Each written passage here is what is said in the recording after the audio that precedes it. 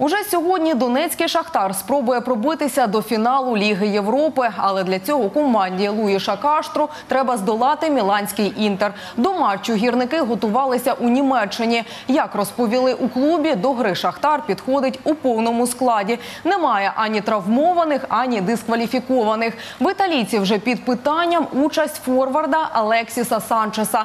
Чилієць травмував коліно і найімовірніше не вийде на поле. Сам матч пройде у Дюссельдорфі і розпочнеться о 22-й годині.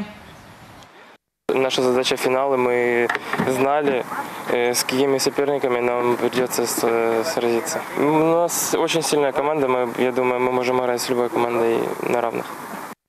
Команды, которые встречаются в полуфинале в таком соревновании, как Лига Европы или Лига Чемпионов, это очень компетентные команды в любых моментах игры. Это будет очень сложная баталия.